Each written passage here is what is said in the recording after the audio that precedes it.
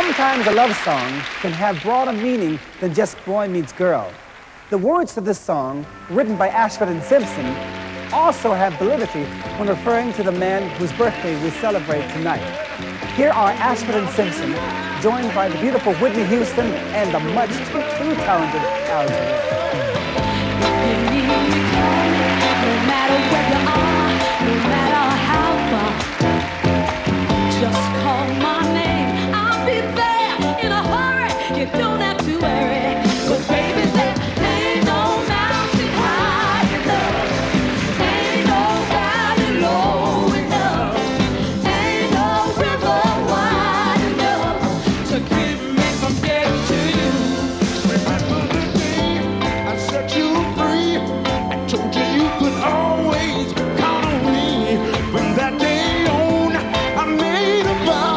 I'll be there when you want.